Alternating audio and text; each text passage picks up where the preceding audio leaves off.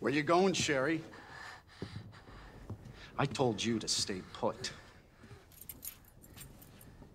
You need to learn to listen. Leave me alone. Just please. Time to teach some manners. You little bitch! You're gonna pay for this! Ah, you little shit! You hear?